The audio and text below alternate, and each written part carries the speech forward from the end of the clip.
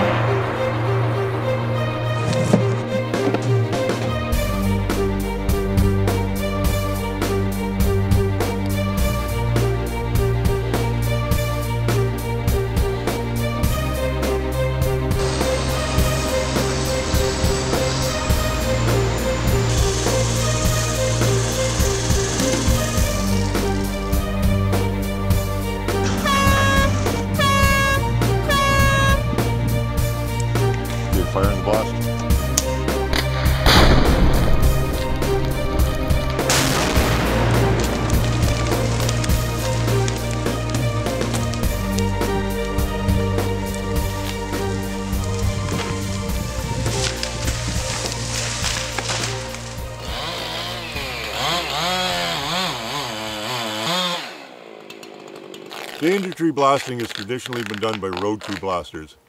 Fire in the hole. Blasting rock and blasting trees are two totally different jobs. The ideal danger tree blaster understands falling and explosives. It's not just blowing trees up, he's using explosives to enhance the falling skills you already have.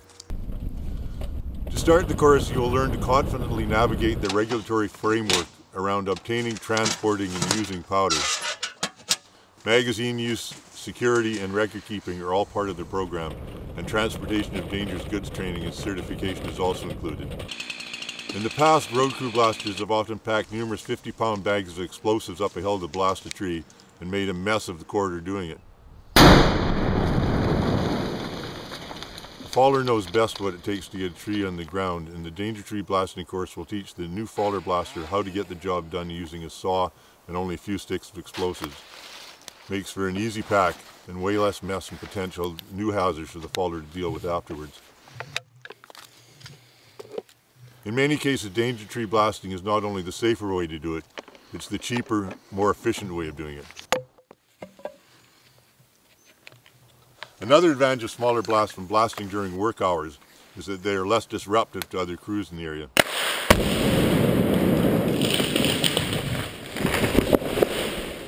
Explosions take the path of least resistance, and a big factor in working successfully with explosives is getting containment, or sealing the explosives before they're detonated.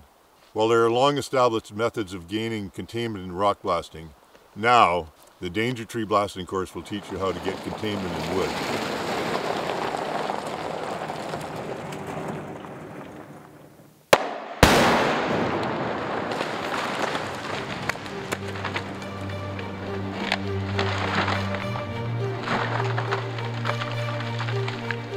Every faller has a number of tools in their toolkit to accomplish their job safely, efficiently, and productively.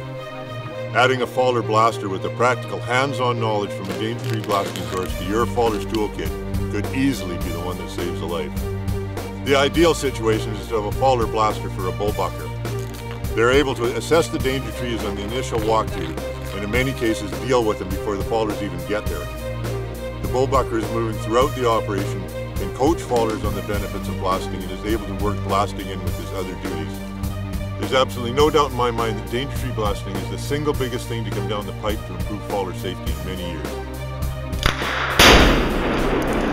Courses are available now. To register, contact the BC Forest Safety Council.